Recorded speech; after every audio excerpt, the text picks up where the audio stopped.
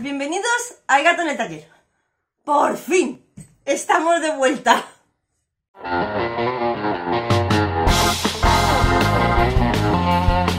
Mi mi mi. Pues eso, que lo sepáis. Que mi mi. Por fin estamos aquí, ya hemos vuelto. Las vacaciones han sido bueno, las vacaciones fueron las vacaciones, o sea, mm, se acabaron, de hecho se acabaron antes de lo que tenía yo planeado, es decir, mm, el problema es que para mediados de agosto salió la fecha de la recreación anual de Anacrónicos y aunque más o menos todos sabíamos un poco de qué iba la cosa y tal y cual, empezaron a, sucederse un montón de cosas que hicieron una enorme pelota, una enorme madeja de mm, y que no he podido grabar hasta ahora. Mm, la recreación ha pasado hace dos semanas, dos semanas creo, tres. No, tres, tres largas. Pero claro, después de la recreación, de la recreación, pero que es el fin de semana de la recreación, eh, mi marido y yo nos fuimos de vacaciones porque mi señor esposo ha, ha cogido sus, buen, bien, sus bien merecidas vacaciones, puesto que este verano ni las olió. Entonces nos hemos ido a ver a, mi abuelo antes de que vuelvan a cerrar todas las fronteras, que viendo cómo están las cosas, no creo que tarden mucho. y hemos estado una semanita ahí en, en Fumel y después, pues eso, nos hemos vuelto. Desde verano teníamos planeado, os, voy contando todo esto, luego voy, voy saltando de una cosa a otra, intentaré organizarlo. Desde verano teníamos eh, pendientes eh, la adopción de, una gatita, pero como yo tenía toda esta marabunta de trabajo y la preparación de lo de la recreación anual y quería tener mucho tiempo para poder dedicar a, esta gatita, eh, Borgia, se llamará, se llama, no, se llamará, no, se llama, se llama Borgia, pues no quería adoptarla para luego interrumpir su adaptación a casa porque los gatos necesitan una adaptación a, nuestras a las casas una vez que los adoptamos, que puede ser más o menos rápida.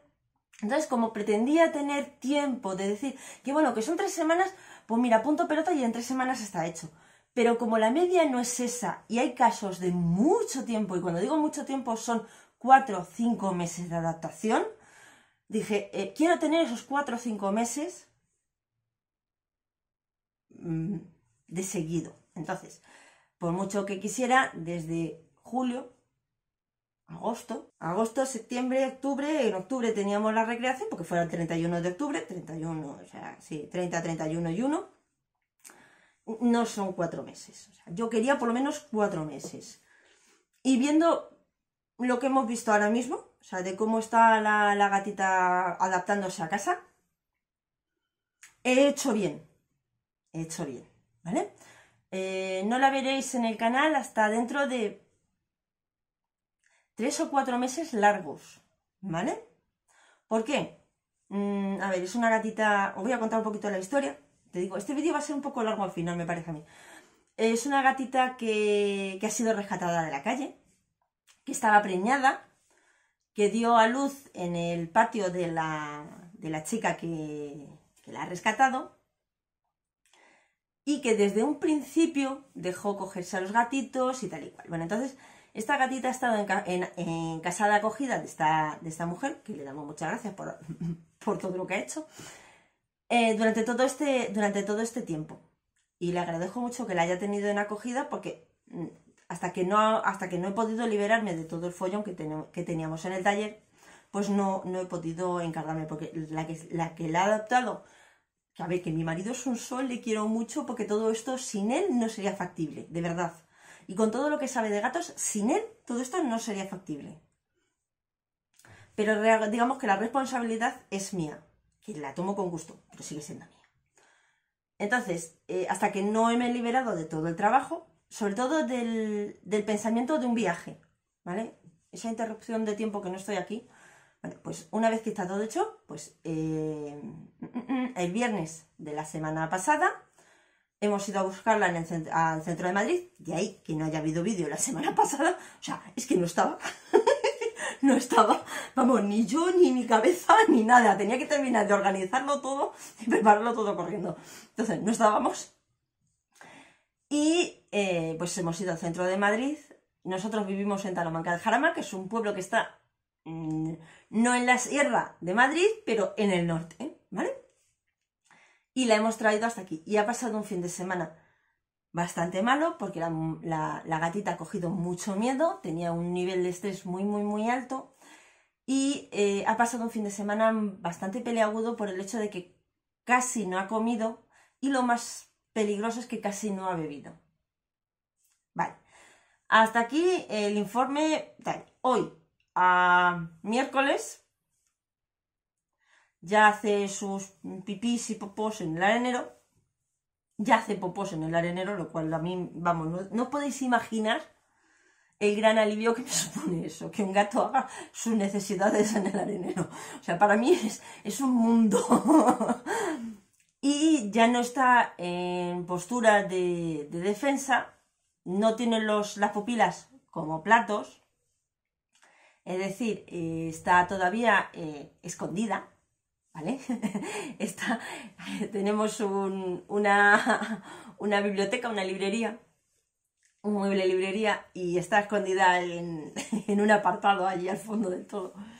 Pero al menos ya está tumbada, ¿vale? Ya, ya ha cogido la postura de barrita de pan, que es esto, la postura de barrita de pan, lo cual para mí fue muchísimo porque en un principio estaba con las dos con todas sus patas apoyadas en el suelo, es decir, agazapada, pero con las patas apoyadas, lo cual quiere decir que en cualquier momento está preparada para huir. Con los ojos muy dilatados, lo cual quiere decir que tiene miedo. Con las orejas ligeramente eh, hacia adelante, pero un poco hacia los lados, lo cual quiere decir que está preparada para huir, que es miedo. Vale, las orejas ya están mirando hacia adelante, los ojos lo sigue, sigue estando muy vigilante, pero ya no están las pupilas de este tamaño, ¿vale? Ya se le ve, se le ve el iris lo cual para nosotros es un montón. Ha cogido este lunes y martes la postura de barrita de pan y hoy, que también está tranquila, entramos tres veces en la habitación, una por la mañana para verificar que haya comido, que haya, que haya bebido y limpiar el arenero. Eh, otra a media tarde entramos los dos para hablar, simplemente hablamos en la puerta de la habitación en bajito para que sepa que estamos allí y entro una última vez a última hora de la noche antes de acostarme para dejarle un poquito de comida fresca, de latita, ¿vale? Comida húmeda. Que la muy pendona no suele comerse. Lo cual es chocante, pero bueno, mm, es, lógico, ¿vale? Está, está atemorizada. Entonces hoy la hemos descubierto, ha cambiado de sitio, antes estaba escondida en otro sitio, y la hemos descubierto, pues ahí en la librería, pues ya no está durmiendo a pata suelta, no está durmiendo hecha un ovillo, pero está tumbada, lo cual para nosotros es, es mucho, ¿vale? Muchísimo, de verdad. Ha sido un fin de semana terriblemente espantoso. Vale, volvemos para atrás otra vez. Chin chin. Vale. ¿Cómo empezó la gran pelota esta de, trabajo por lo cual he retrocedido, he, tardado tanto en volver a publicar? Vale, entonces, todo empezó allá por julio. Vale, nosotros estábamos a dieta. Digo entre comillas porque no hemos hecho una dieta tal mm, de quitar no sé qué, de quitar. No, hemos hecho una restricción de comidas un poco más comida más equilibrada, eh, quitar un poco, mm, por ejemplo, en nuestra casa se comía mucha, mucha pasta, hemos metido un poco más de verdura, no mucha, no porque mi marido no la digiere bien, pero hemos mm, mejorado algunas recetas, hemos quitado algunas grasas, hemos quitado algunos hidratos de carbono, simplemente hemos equilibrado un poco más la comida, ¿vale? Y hemos bajado un poco la cantidad que últimamente estábamos como más desatados. Lo cual no quiere decir que el domingo, si te apetece, te hagas un flan y te lo comas. Pues ¿por qué? Pues porque sí, porque te apetece flan y te lo comes. Punto pelota. Pero bueno, mm, como estábamos a dieta, pues también quería retrasar lo más posible. esto es una norma de, que tengo desde, desde que tenía la tienda de novias. Hago, un montón de incisos, pero tiene lógica. ¿Por qué? Pues porque los nervios en la novia suelen jugar muy malas pasadas. Tanto para un lado como para el otro. O bien se ponen histéricas poca novia conocido que no esté histérica y me incluyo entre ellas. O bien están histéricas y se dedican a mm, comer no vamos a decir engullir, a comer todos los dulces que pueden, porque es la manera que tiene el cerebro de aliviar el estrés. O bien pasan al otro lado. Estamos histéricas y hacemos deportes como normales para liberar el estrés. A ver, son dos cosas de son dos maneras de combatir el estrés. Que parece mentira, pero una boda estresa y estresa mucho. ¿Vale? Entonces las novias, porque como tienen que ser es el día más importante de tu vida, es lo más, el día más guay de tu vida. No, no vamos a hablar de que has dado a luz y que tienes un maravilloso retoño o que tu hijo ha sacado matrícula de honor en, el, en la universidad o que tu carrera ha salido embalada y tienes cinco sucursales a tu nombre. O, no, no, el día más importante de tu vida es tu boda. Es una cosa que me, que me revienta. a mí particularmente. El día más importante de tu vida va a ser tu boda. Luego, otros momentos que para mí me han parecido realmente importantes, normalmente no tienes la pinta de una novia. Ni mucho menos. Como por ejemplo el día que sales del hospital y te dicen que tu enfermedad degenerativa no es eso. No es una enfermedad eh, degenerativa que te va a condenar a una silla de ruedas sales del hospital llorando como una magdalena y es uno de los días más felices de tu vida. Os lo puedo asegurar. de verdad que os lo puedo asegurar. Y, sales del hospital llorando como una magdalena, de puro alivio. Cortamos. Entonces, eh, el estrés de las novias. Entonces, debido a eso, mm, siempre he arreglado, porque los vestidos de novia todos necesitan un arreglo, que si hay que meter un poco el bajo, que hay que meter un poco la cintura, que si hay que ajustar el, el palabra de honor, que si Siempre he cogido los, arreglos de los vestidos de novia a 15 días de la boda. Para evitar eso, para evitar los efectos perniciosos del estrés en el cuerpo femenino. Eso y que se necesita la ropa interior. Que vayas a llevar el día de. El día de. O sea, ya sea una boda, ya sea tu comunión, ya sea el más importante, te da igual, que la ropa interior es importantísima. Entonces, como estábamos un poco a dieta, pues he, ido retrasando un poquito la confección de, de toda la ropa para poder amoldarla sin tener que rehacer estas cosas, porque realmente son trajes relativamente laboriosos como para saber de dónde tienes que meter para luego ajustar esa prenda. Es que a veces hay que medio desmontarlo todo para poder hacerlo.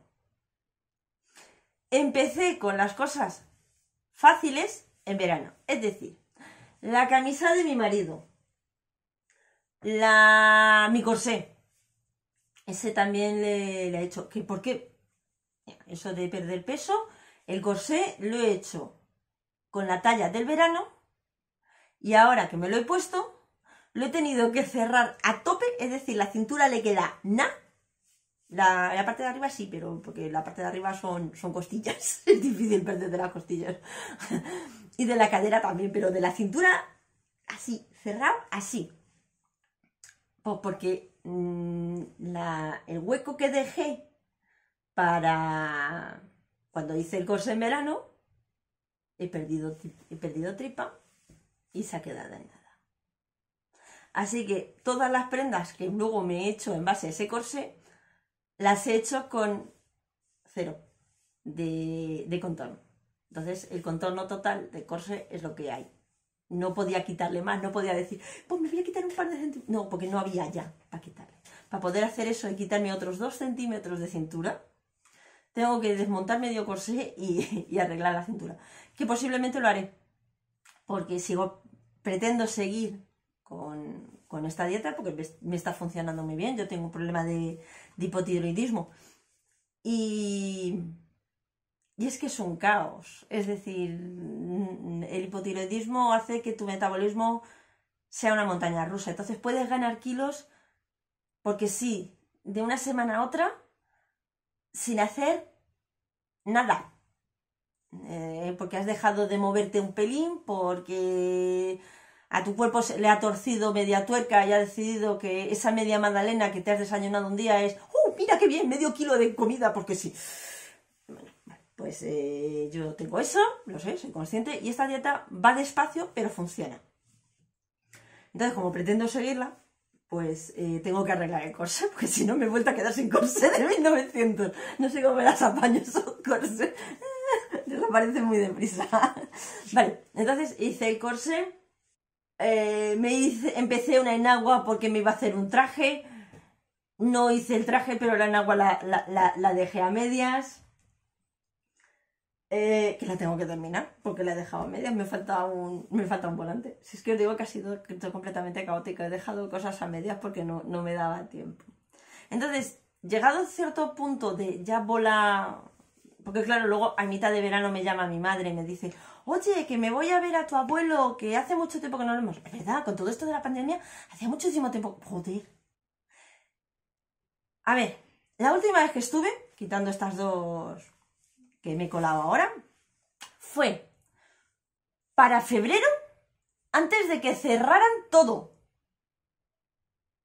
No fuimos para Navidades porque no pudimos, pero fuimos para febrero porque fuimos para, fuimos para mi cumpleaños, eh, fin de año, el fin de año chino, no fin de año, sino el fin de año chino, porque me acuerdo que celebramos mi cumpleaños, el de mi prima, que se llevan cuatro días, y el año nuevo chino. Hicimos una fiesta, estábamos todos allí. Nos volvimos y cerraron las fronteras. Y nos encerraron a todos en casa. O sea, toda la pandemia. Que viva Internet, porque hemos podido vernos, hemos podido hablar, hemos podido escribirnos, hemos podido tener noticias de todos. Llega a pasar esta pandemia hace 20 años y la gente se vuelve loca. Así que imaginaros, claro, me dice mi madre, oye, que me voy. ¿Te quieres venir? Pues sí. Yo, todo feliz de mí, dije, bueno, pues me llevo trabajo y me voy avanzando. ¿He trabajado durante los 10 días que estuve allí? No. A ver, sí, he trabajado, pero no. No he avanzado absolutamente nada. Así que son 10 días perdidos. Vuelves y ya la bola es grande. Te das cuenta que tienes que porque e, era, es un fin de semana largo, es decir, es un fin de semana de tres días. El, 20, el 30, llegamos el 29, pero el 29 no cuenta. El 30, el 31, Halloween, y el 1. El 29 llegamos, pero el 29 no cuenta, porque simplemente cenamos todos juntos. Y luego ya el día 1, nosotros, mi marido y yo tuvimos que salir relativamente temprano porque todavía nos quedaban 500 kilómetros para, ir a casa de mi abuelo. Entonces, te das cuenta que tienes que tener un traje de día, un traje de gala, traje de noche, un traje para la mar del party, porque tuvimos una mar party, uno, mm, Mirella y, y Sir Joseph organizaron una mar del party que fue divertidísima. Pero era un fancy dress. Un fancy dress es esto, ¿vale? Los fancy dress son trajes divertidos, es que es lo que es cómo se traducen. Son los trajes pues que se llevan en carnaval, que se llevan para los bailes de máscaras, eh, pues eso. Entonces queríamos hacer fancy dress multiplicado por dos. Porque no iba solo yo esta vez, sino que también venía mi marido. Con lo que fue, fue como De repente fue, claro, como yo había cogido mucho peso debido a la tiroides, porque, eh, bueno, las hormonas son lo que tienen, mi cuerpo se ha descabalado totalmente y eh, los trajes que tenía antiguos no me valían. Mi traje azul, este traje azul tan maravilloso, no me valía. Eh, me he vuelto loca diciendo el traje rosa que me hice tampoco me valía, tenía que hacerme algo corriendo. Mi traje rosa es este. el traje, no, tenía que hacerme algo, había pensado en hacerme este. Luego, no, luego empecé con, con lo de mi marido. yo de sastrería no tengo ni pajolera idea, con lo que compré patrones y, tal y cual para poder hacerlo. Eh, compré las telas, lo tuve que avanzar. Luego el, el, chaleco que venía en el patrón no me gustaba, tuve que buscar otro de otro, de otro patrón. Por cierto, el chaleco quedó, quedó ideal. O sea, estaba mi marido guapísimo. O sea, que los quebraderos de cabeza salieron todos de, salieron todos de, milagro. A ver, de milagro no, porque el traje de, de, gala de mi marido no está hecho. No me dio tiempo. Tenía pensado, digo, bueno, pues utilizo el patrón del, del, traje de día y simplemente hago un, chaleco y el. y el chaqué. No, el chaqué no. El frac, frac. Son dos cosas distintas. El chaqué es para por la mañana. El frac. Al final no me daba tiempo a hacer el frac. ¿Para qué voy a hacer el chaleco si no me da tiempo a hacer el frac? Voy a intentar hacer una chaqueta militar. Tengo todos los, tengo todos los materiales por ahí la chaqueta militar al final, mira, a cuatro días de, cerrarlo todo, dije, mira, renuncio. ¿Renuncio para qué? Si me voy a volver loca no lo voy a conseguir. Así que mi marido irá para la noche de gala, irá con la levita. Eso sí, guapísimo, iba con la levita. Entonces, mi marido, pantalón, camisa, chaleco, levita, tirantes, que tuve que ir un día al centro de Madrid para buscar diversas cosas porque necesitábamos esas cosas. Los tirantes. Caballero necesita tirantes. El sombrero de copa. El corbatín, que, que lo terminé allí. La aguja de corbata.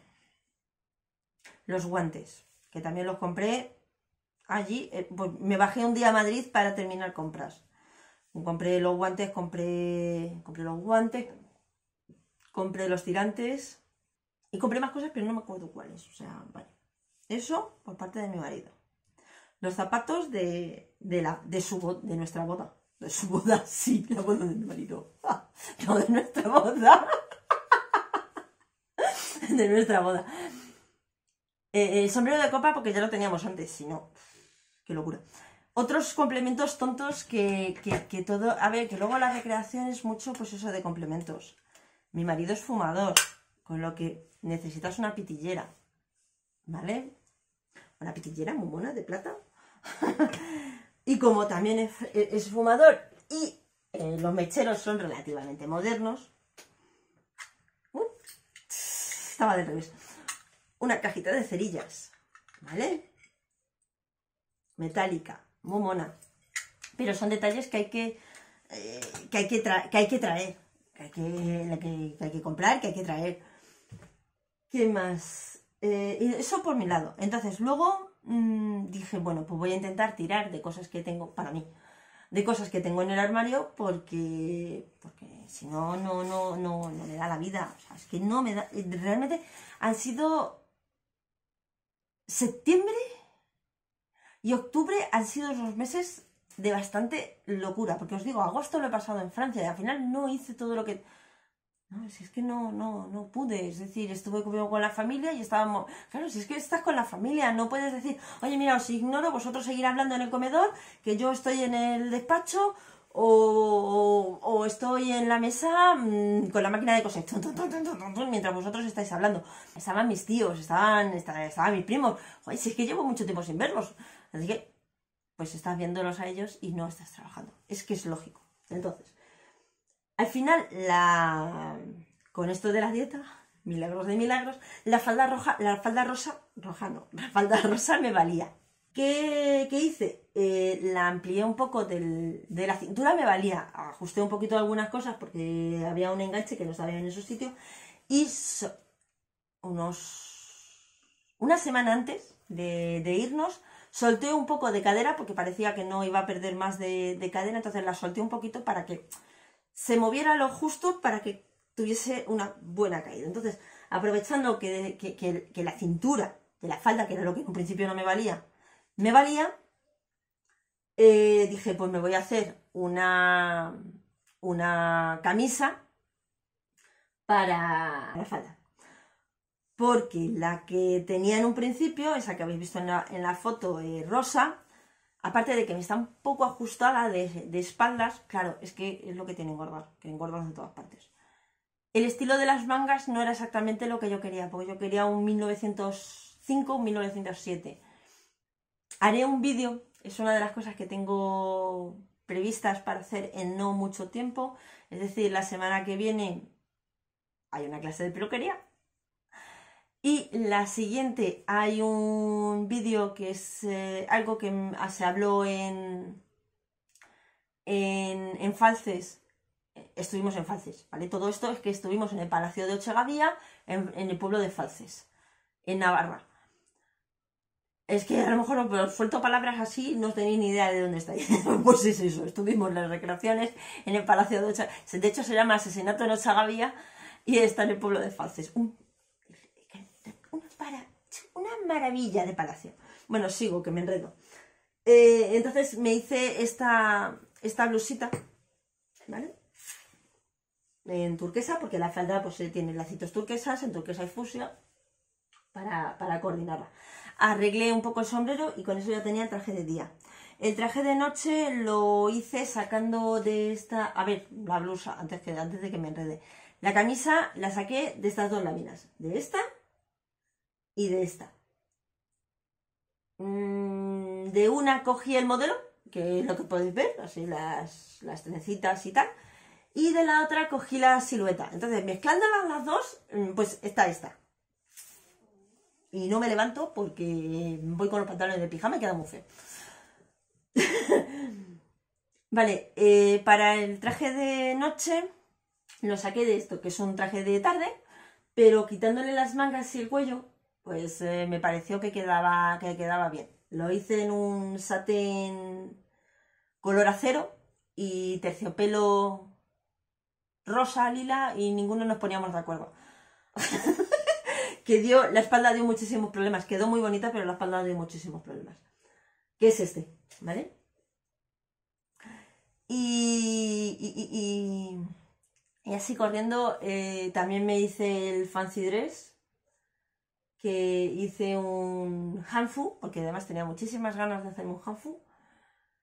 Y, y fue lo que me hice con, con, toda la joyería. Os voy poniendo fotos de, de los estos, ¿vale?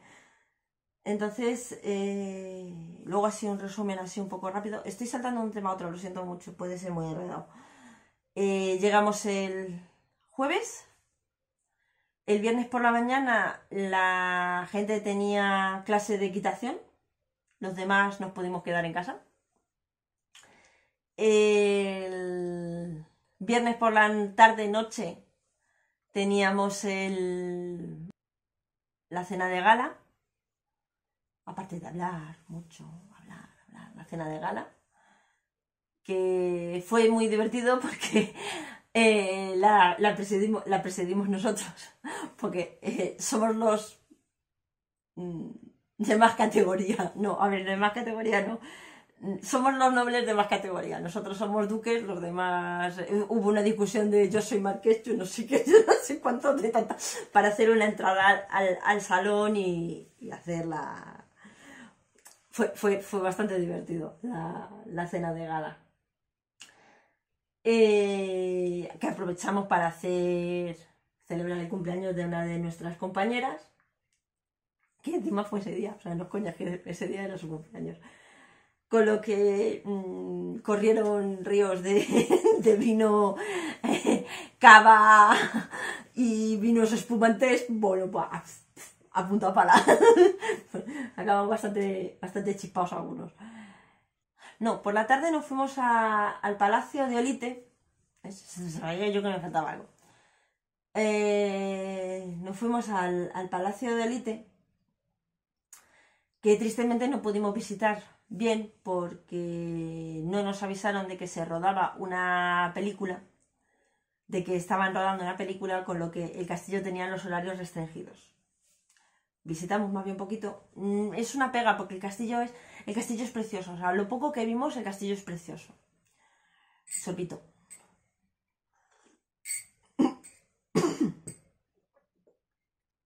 y se ha ido por el otro lado. Entonces, el domingo por la mañana nos fuimos a montar a caballo. Los caballeros y dos damas eh, montaron a caballo yo quería montar a caballo, pero menos mal que no lo hice por dos cosas. Uno, mm, porque la espalda me ha dado también unos cuantos problemillas, como que no sé yo si hubiese podido aguantar, porque además fue una ruta larguísima, estuvimos de ruta por lo menos dos horas. O sea, no sé yo si hubiese aguantado. Una hora lo hubiese pasado mal, dos horas no hubiese llegado. Y por otra parte, porque no me hubiese dado tiempo imposible a que me diese tiempo a hacerme el, el traje de montar. O sea, imposible.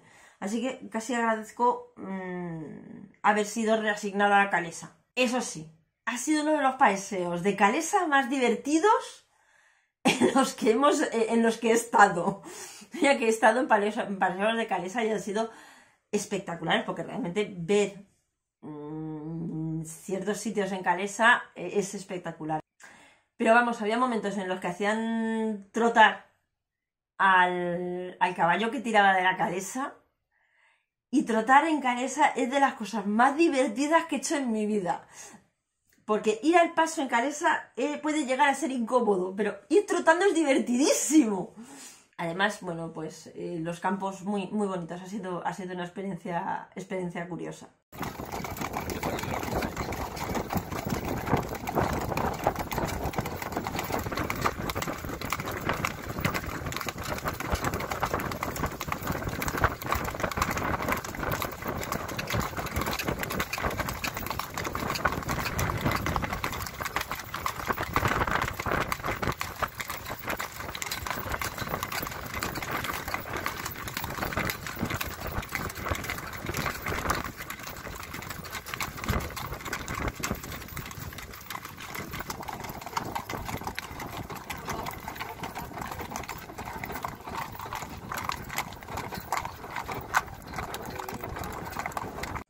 Vale. eh, Luego hubo una tarde un poco de descanso y tal.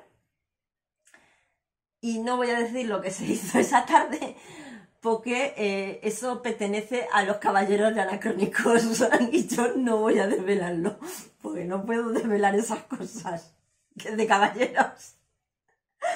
Vale. Eh, y por la tarde tuvimos la, la- por la tarde y noche, ya por la noche, la, la Murder Party, porque la hicimos en dos, en dos partes, eh, antes de la cena y después de la cena. Eh, lamentablemente mi marido no pudo participar en la Murder Party porque estuvo, tuvo una migraña, son cosas que pasan. Pero realmente nos lo pasamos bastante, bastante bien, fue muy divertido. Y yo averigué quién era el asesino. Sí, yo averigüé quién era el asesino.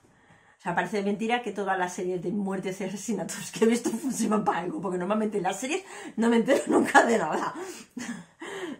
No sé si es porque, no sé, a lo mejor es porque eran jugadores de rol primerizos, no lo sé, pero bueno, la cuestión es que conseguí averiguarlo. Muy divertido, eso sí, fue muy, muy, muy divertido. Hicimos eh, prácticamente mm, hubo muchísima gente en el grupo que era la primera vez que jugaba al rol. Eh, y fue divertidísimo, de verdad. O sea, con esto hemos conseguido que mi mono de jugar al rol vuelva. Y yo que creía que lo tenía medio controlado. O no, para nada. A ver, hablando de las fotos. Eh, las fotos que os voy poniendo, quitando las láminas, son hechas o, miembro, o gracias a los miembros de Anacrónicos que estábamos allí, o son las más guapas. O sea, como estas. Las más bonitas son fotos que están hechas gracias a Víctor Squin. Ya, con eso te lo digo todo. Lo pondré en la caja de descripción, todos los enlaces que tengo de, de él. Tanto la fotografía que, que hace de recreación como la, natura, la fotografía de naturaleza. Eso también es como... ¡ah! Te cae. No, realmente el tío, el tío la hostia. El tío es la caña. Mis besitos. Que nos veamos pronto. Vale, que estábamos enredados en, en despista. Eh, vale, estaba hablando de la Murder Party. Y una vez ya terminamos de hablar tal, ya, eso ya fue a eso de la una o la una y media. Y considerando que al día siguiente eh, nosotros teníamos, a ver, nosotros, sí, nosotros en particular, mi marido con migraña en casa, en la habitación, y nosotros que teníamos que hacer eh, 500 kilómetros, 500 y- kilómetros y algo, para llegar a Fumel, nos teníamos que levantar relativamente temprano, eh, hacer las maletas y meterlo todo en el coche. Existe este meme, ¿vale? En el que pone eso, el fin de semana de, vacaciones. eh, Es 100% real. No, no es una coña, de verdad, no es una coña. A ver, para una semana, para 15 días, que al final fueron 10, pero para 15 días en Francia llevábamos una maleta. Una maleta. De estas de cabina, normales. Para la recreación llevábamos tres. Más las bolsas en las que están los sombreros. Más la bolsa donde están los zapatos. Y porque no lleva bastón, pero yo llevaba parasol. Bueno, yo llevaba sombrilla. Eh, llevaba paraguas, no llevaba sombrilla porque en noviembre lo de la sombrilla no. No. Pero llevaba el, paraguas. Eh, el manguito. El. Es, es, espantoso una maleta. de recreación es, espantosa. Os lo puede decir cualquiera, de hecho. O sea, te, da igual. Mogollón de cosas tienes que llevar siempre para la recreación. Así que después de conseguir guardarlo todo, verificar la casa cuatro veces para ver que no se te olvidara nada, conseguimos salir. Entonces, bueno, ya nos, fuimos a Francia, volvimos.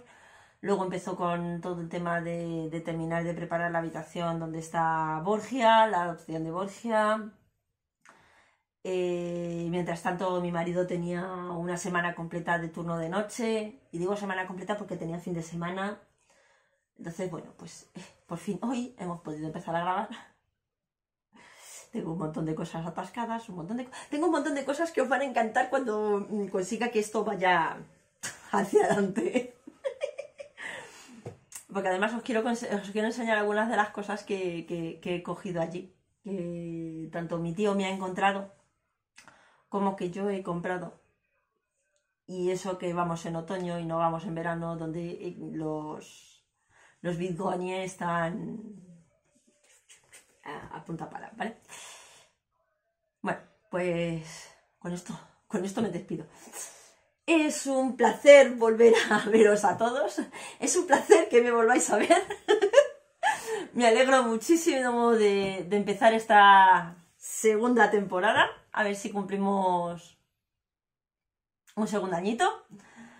A ver si llegamos a los 200 seguidores en nuestro segundo año. no soy yo, ¿eh?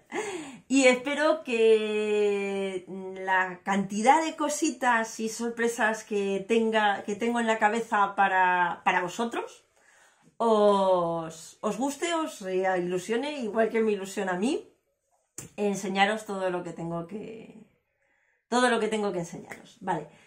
Eh, como os he dicho, la semana que viene hay peluquería. La semana siguiente hay vídeo de moda. Vídeo de, moda. Ah, de vídeo de resumen de moda. Ya lo explicaré en ese vídeo porque es una cosa específica que hago para alguien, pero que puede valer para mogollón de personas. Mm, sobre todo caballeros, porque es que son caballeros que puede valer para todos los caballeros que quieran iniciarse en la recreación histórica del siglo XIX, civil, lógicamente, civil, no militar, con nosotros, porque nosotros somos un grupo multiépoca que está ambientado en el siglo XIX. El siglo XIX, como, todo, como todos sabéis, un siglo son 100 años, y en 100 años la moda varía bastante, sobre todo en los últimos 200 años, ¿vale? siglo XIX, siglo XX, la moda cambia de década en década, de lustro en lustro. Entonces, mm, voy a hacer ese vídeo, que es eso, un poco tal. Y después de eso, pues mm, volveremos para atrás en el tiempo. Os enseñaré cositas que, he ido haciendo para, para la preparación para falces eh, para la preparación para Ochagavía. Os dejo todas las direcciones de, interés de, este, de esta recreación que os he enseñado a través de fotos mientras mm, he hablado sin parar. Eh, que os pueden interesar, la dirección de Anacrónicos, la dirección del Palacio, la dirección del Palacio de Olite, del Palacio de Ochavía, no, de, de, Olite, las direcciones de, de Víctor, eh, todo esto que os he estado hablando, la, todo esto os lo dejaré. Si queréis saber algo más, si os ha gustado, si necesitáis cualquier cosita, me lo dejáis en comentarios, por favor. Os lo agradezco muchísimo. Espero que nos veamos la semana que viene. Le dais un kilín a la, a la campanita. Por favor, seguidme y hasta la semana que viene.